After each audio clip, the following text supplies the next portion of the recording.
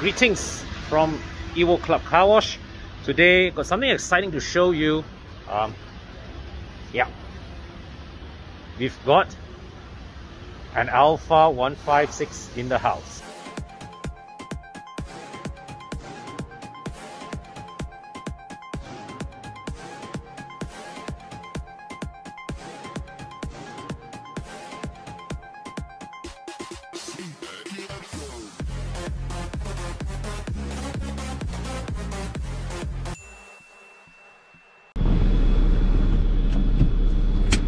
Hi guys. So, I am in an Alfa 156 and this is a well, a new project that uh, that we took up here at Evo Club Car Wash. So basically the owner of this car, the owner bought this car right last week and uh, sent it to us with the request to help him manage the restoration journey of this vehicle.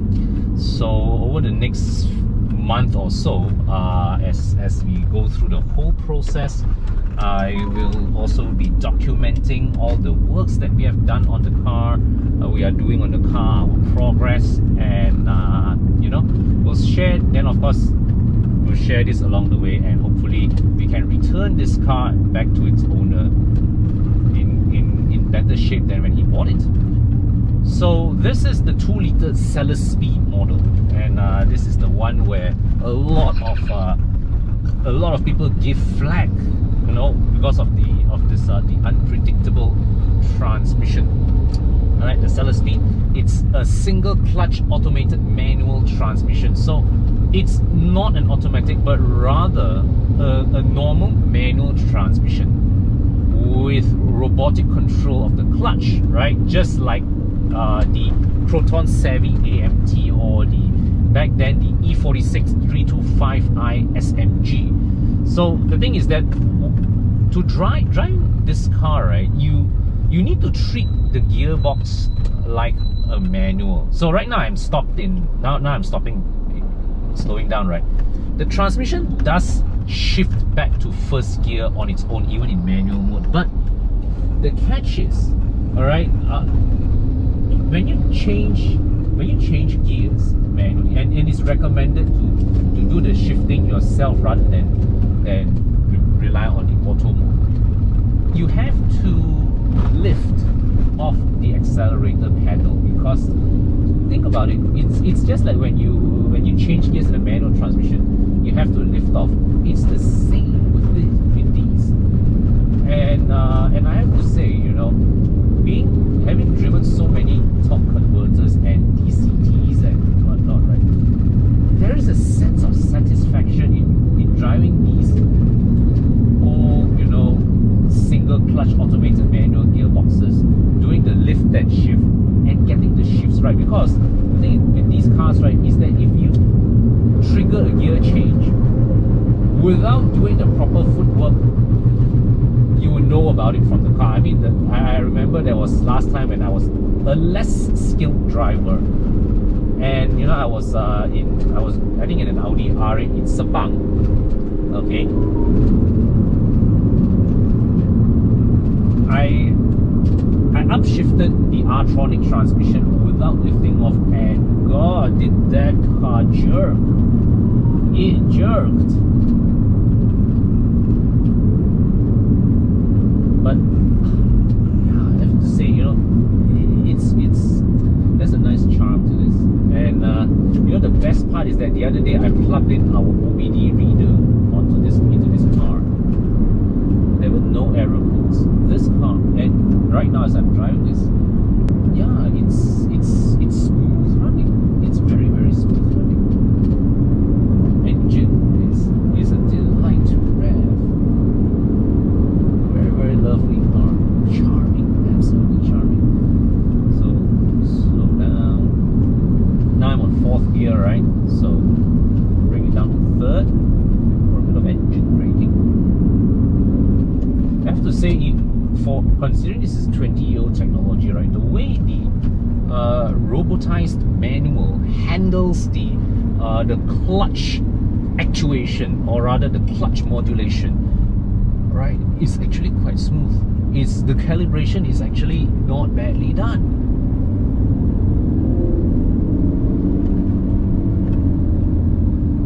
So of course now you know in front is a jam right? I just uh, I just use the accelerator ease up uh, uh, step on the throttle.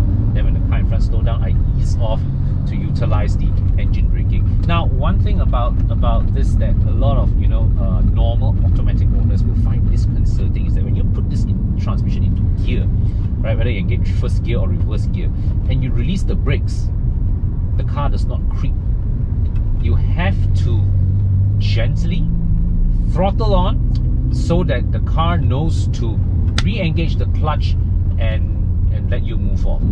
You know that you know the funny thing was uh, the other day I was bringing this car down our multi-story parking ramp. All right, as the car was rolling down and you know heading straight to the uh, the boom gate, you know where I needed to stop the car, right? Uh, somehow I very intuitively all right, reached for a clutch pedal.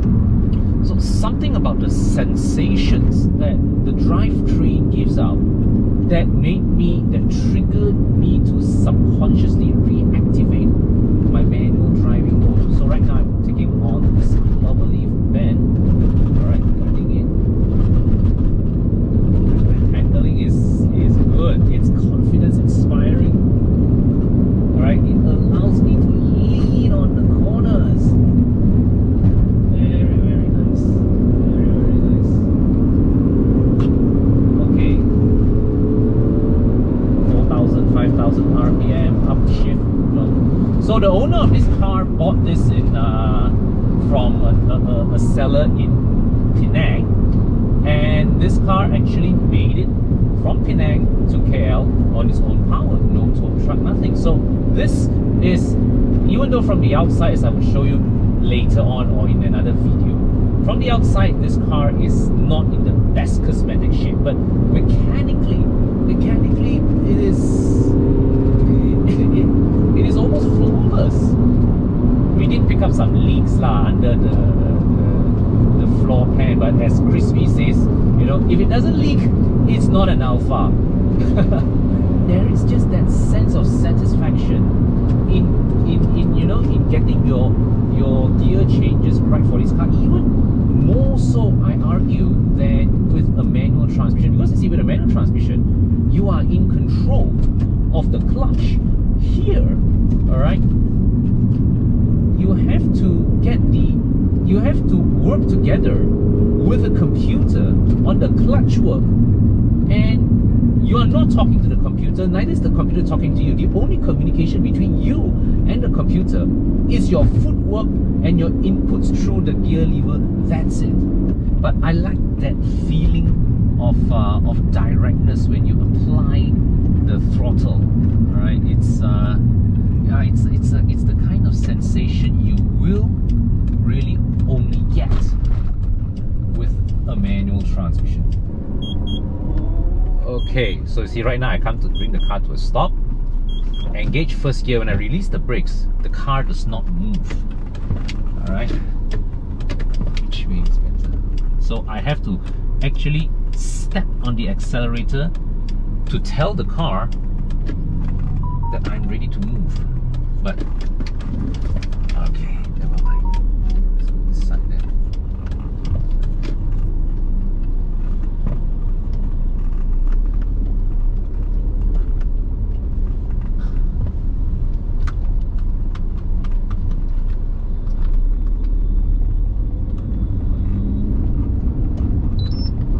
Right. So off the gate, release, bang, second gear. Off the gate, release, bang, third gear.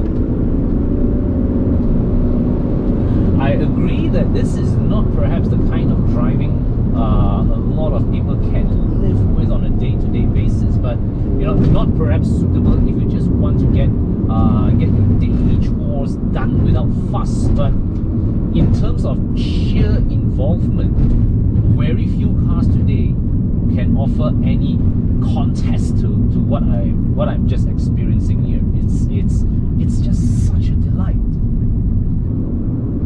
Okay, a further two things about this gearbox.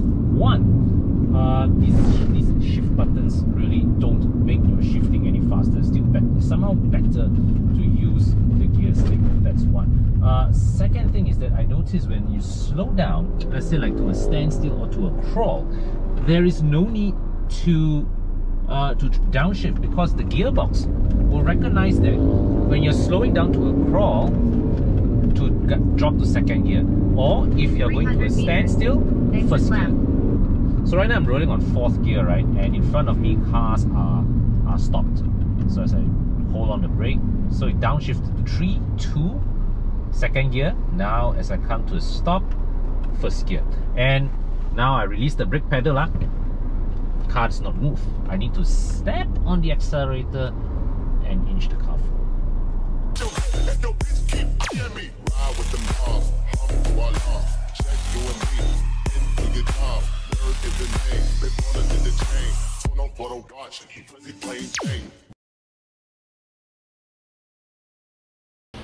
Uh, the owner, right, in his excitement, bought this set of half-cut headlights because he doesn't like the current set in his car.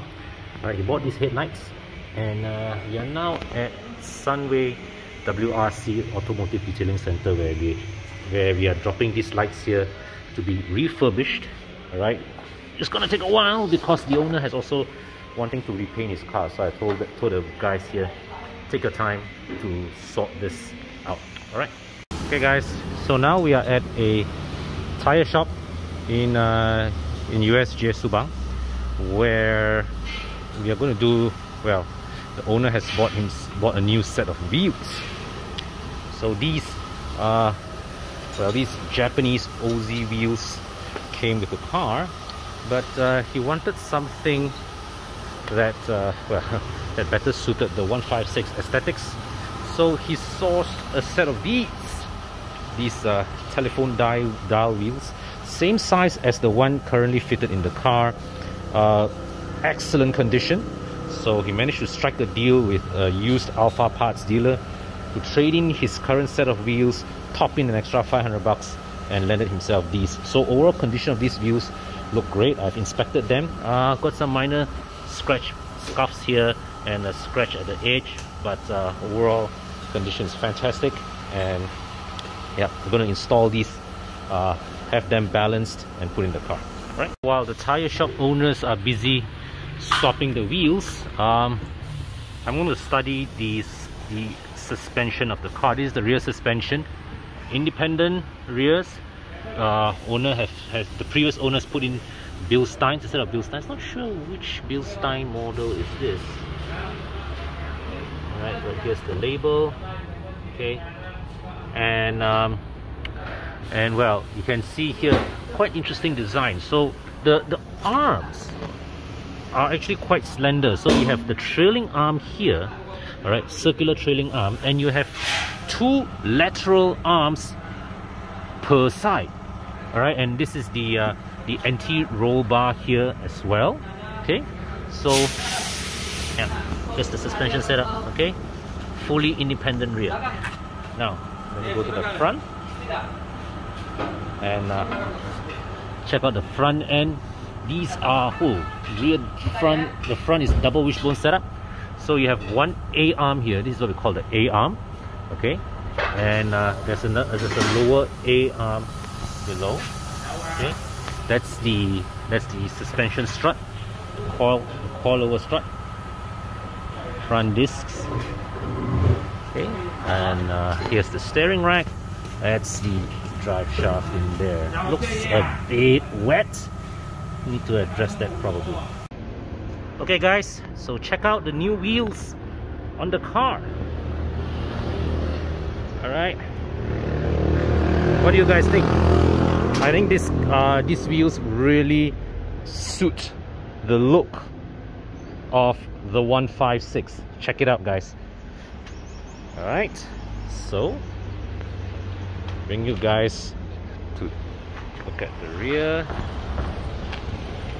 okay So right now I've brought the car to Hüper Optik uh, in Puchong where the owner has requested that I bring the car here to tint the windows.